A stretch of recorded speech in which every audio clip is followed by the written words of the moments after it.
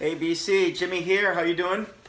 Um, got another video. Um, Want to show you some of the new uh, vinyl that has just come in.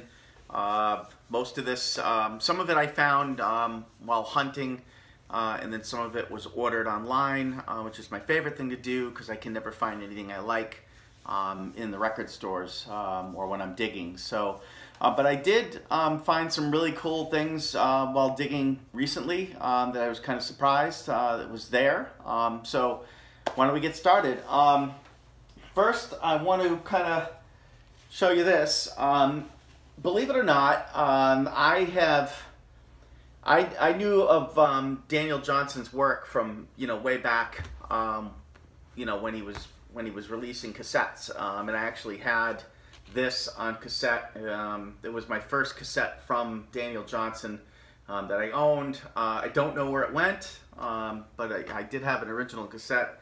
It might be somewhere around the house, um, who knows. But um, I had to um, repurchase it because it's definitely my favorite Daniel Johnston album.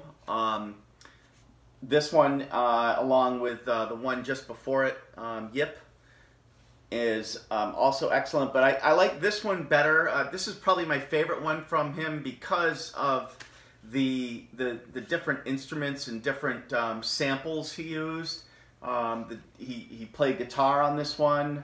Um, I think I heard a little ukulele. Um, he also played his little pump organ on this one, um, some piano on this one, and sampled some big band music where he'd kind of sing his own lyrics over um, Johnny Dankworth's um, orchestra on a few songs, and believe it or not, they're really, you know, it's it sounds kind of lame, but it's not. It's it's it's an engaging listen.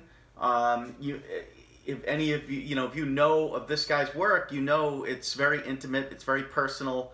Um, but this is, uh, my mind, this is definitely my favorite of his um, due to the fact that he plays so many different instruments on it and it's so varied and there's so many samples on it. Um, it's just cool and I know it says unfinished on it but it's I mean to me it sounds finished. Um, even the, the, the, work that you would think is unfinished on side one um, with the smaller uh, you know the snippet songs um, they kind of it, it, it, it, kind of forms a medley. It's almost like what he wanted to do. Um, and according to a friend, I, I read um, a friend's account of this album when he was recording it and what he was thinking, and this is what he wanted. Um, so for him to say it's unfinished, I, don't know if it's unfinished or not, but it certainly sounds finished to me. It sounds great. Um, it's definitely his his uh, his most varied effort. Um, whereas the one prior, which was excellent, Yip Music, it's good, but he plays the pump or pump organ on every single song, and there's just no variety. Um, versus this one. Um, this is actually on, um, this was pressed on Homestead in 1988. Um, it's the first time it was ever on um, a vinyl record. So uh, Homestead released it in 88, uh, even though the album is from 83. So, uh, but there's the artwork, uh, you know, that Kurt Cobain made famous. He wore the shirt and everyone went crazy. Um, and plus, if you haven't seen that movie, The Devil and Daniel Johnston, you need to see that too, that documentary. Um, it's a little upsetting to watch it because it's kind of depressing, but um, check it out if you're into them. Uh, next up is a couple new Guided by Voices um, LPs that uh, I picked up. Uh, this one, um, and believe me, I don't need any more Guided by Voices original propellers. But I'll tell you, when I when I saw this one posted, um, I, I, flipped. Um, the cover. This is probably um, out of the covers, out of the original handmade propeller covers I've seen, and um, you know I've seen quite a few. Uh, pr probably about 50% of them because they're online. You can actually see them online. Um, this this particular cover here is in my top five out of the ones that were made. Um, out of the 500 that were made. Now, I haven't seen all of them. I've only seen about half of them because there's so many of them that are kind of missing in action. Um, this is number 170, as you can see up there, and um, it's just, I love the, the, the, figure on there. It's just so cool. Um, definitely my in my top top five out of the ones I've seen. And I've seen probably, what, about 200, 250 of them Um, there's still about 250 plus that are missing um, or haven't been posted. They're not missing, but they haven't been posted. I'm sure there's, you know, good 40 to 50 of them that have been destroyed or, or damaged or melted or warped or in, and tossed out over the years. Um, so out of the 500, I'm going to guess, just a, a, an estimated guess, there's maybe about 420 of them still in existence. So, yeah. So that makes it even rare.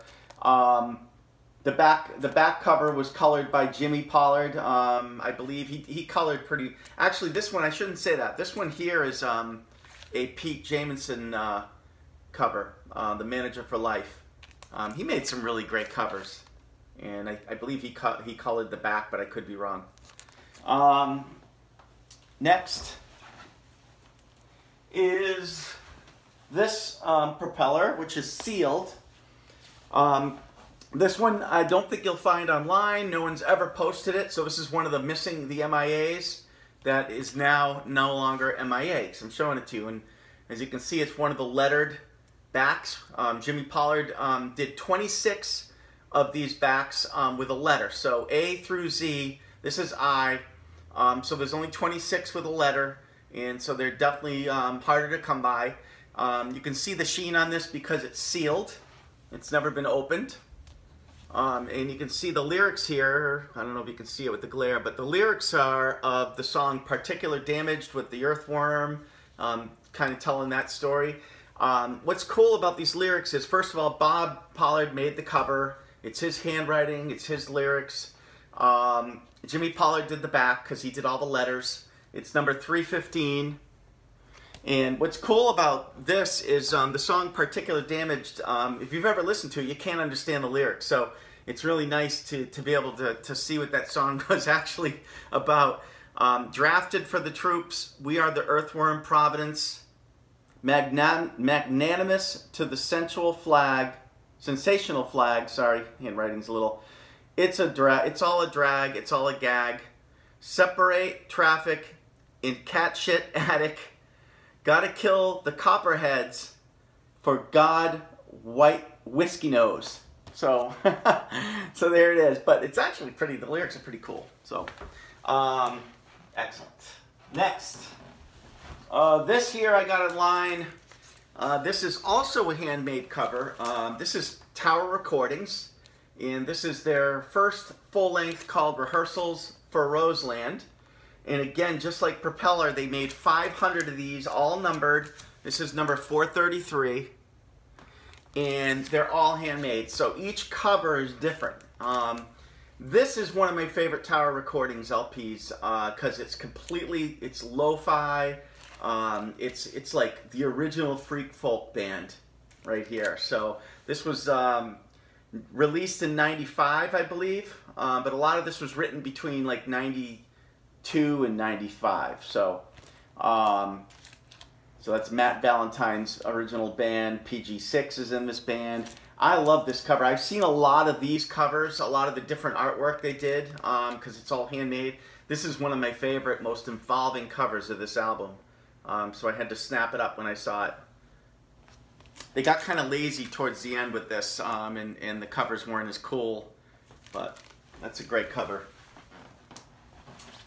Uh, next is Camberwell Now, the Ghost Trade. Um, so if you are familiar with um, the band This Heat, it's a uh, it's a uh, late '70s, you know, early early '80, 1980 um, post-punk band, but they're kind of more than that. They were jazz, they were post-punk. Um, I mean, it was just free free free folk. I mean, it was a little bit of everything thrown in a blender. Um, this is this features um, two band members uh, from that band. Actually, Charles Hayward, the singer uh, from This Heat, uh, is the one who started this side project. Um, and uh, it's it's. I mean, if you like This Heat, you're gonna like this band here. I love this artwork, by the way. Check it out. This is a first press. Um, it's Camberwell now. It's from 1986 on Ink 19 Records. Um, but yeah, if you like uh, if you like this heat, you'll love this. This is a little more progressive than this heat, but it's it's just as cool.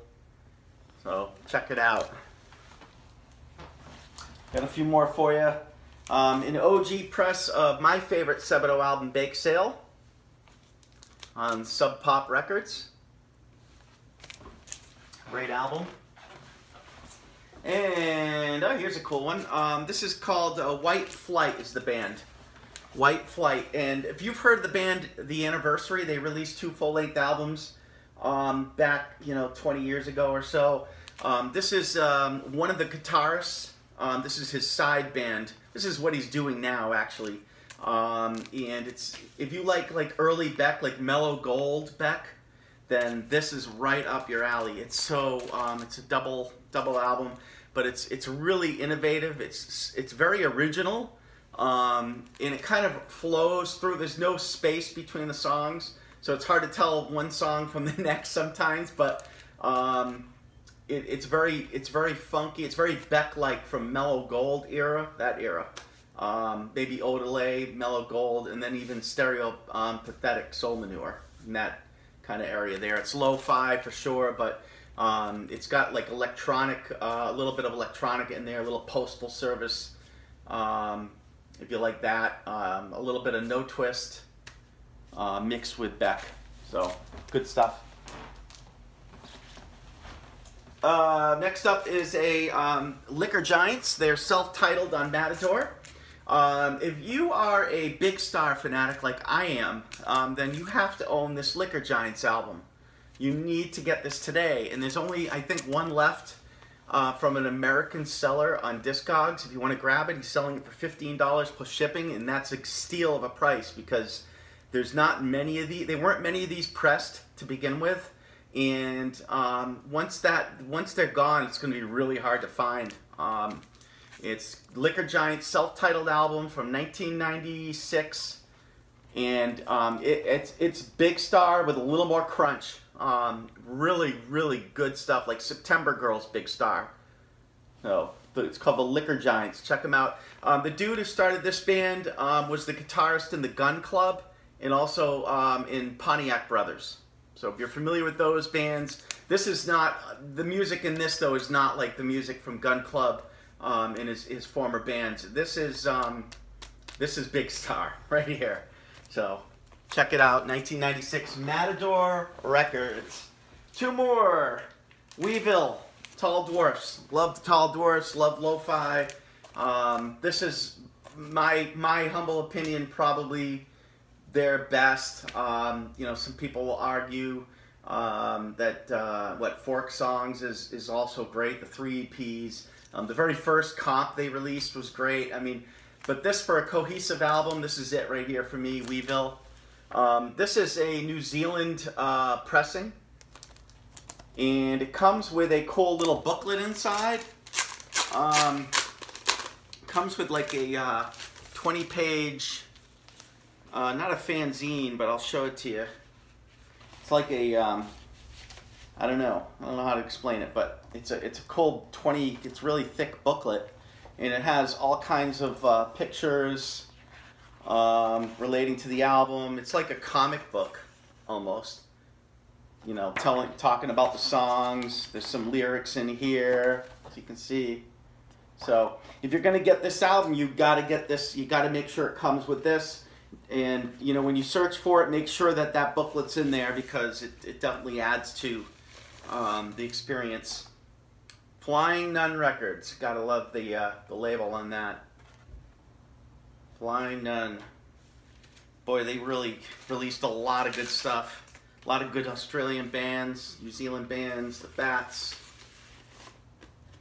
Chris Knox, the Dwarfs. All right, we'll pop this over here. And one last one, the Donner Party. Um, this one here I found in a record store. Hey, I guess I got another record coming. Hang on, folks. Uh, hi. Uh, there you go, sir. I got one for you. All right. Thank you. All right. Be safe tomorrow. All right, sorry about that, everyone. I got a couple more. Look at this. It's mail day. Got a couple that just came in the mail. Got one here. I know what this is. This is um, this is Soft Effects by Spoon. Um, and this is from overseas. And I ordered a couple from overseas, so I have no idea what this is. Um, do you want to do an unboxing right now? Let's do an unboxing. But let's finish um, the Donner Party. Donner Party is basically Sam Coomes from Quasi. This is his first band. And it's really good. It's really good. This is a first press on Cryptovision Records, and I was I was psyched to find this. I think it was like 10 bucks. I was so psyched. It's gem mint. Um, if you like, um, oh God, what's that? Uh, Camper Van Beethoven. You will love this. Love it. The Donner Party. Check it out. All right, so let's do an unboxing. My first unboxing. Uh, well, I know this is Spoon Soft Effects, but it's kind of a rare album, so let's show it to you. God, I love the, uh, not sure I love the Amazon box. Um, sending a very expensive record in an Amazon box is not one of these Amazon mailers. not always the best. Um, I don't mind Amazon mailers as long as it's a you know, something that's, you know, you got plenty of padding inside and it's not like a super expensive album. Um, this particular one is pretty expensive. So hopefully it survived because there is not another one to buy. This was the, uh, this one here wasn't even posted actually. It was um, a situation where I had, um, I was in a conversation with someone and, and they hooked me up. Um, they, they needed the money and they were willing to sell it here it is. It survived. Spoon. Yeah. Soft Effects. Love this album. Glad I have it. That's the cover. And, oh, that's nice. It's in the, I'm not going to remove it now. There's the label. Cool. Can't wait to spin this. Uh, let's see what else we got. By the way, if you're not a Spoon fan, you need to become a Spoon fan. Um, I'm not particularly into uh, like the newer, newer stuff, like Hot Thoughts. It's, it, it's a good album, um, but I'm really big on the, the, the post-punk uh, Britt Daniels um, series of sneaks, Telephono, um, oh God, I don't know, Girls, something with girls in it, the, the, the 2000 release. Um, those are my favorite. Gaga Ga is great. Um, but that's that's like early Spoon is my favorite when Britt was going through like the Wire in Pixies phase that he went through. Oh, Close Lobsters, cool. This came in. Um, Close Lobsters. This is a um, an '80s band. Um, definitely got a little um, uh, jangle in them. Um, so if you like Jingle Jangle, like REM, um, you know, Joy, well, not Joy Division, but REM, that type of jangle. The Close Lobsters are really good. I know some people have shown their, think their first album, this is their second one. So, um, the second one I actually like the sound a little better, but um, the first one's good too. I got to get the first one eventually. So there you go. Excellent. Well, thanks for tuning in. Um, hope to see you guys real soon, but thanks for watching as always. Take care. Peace.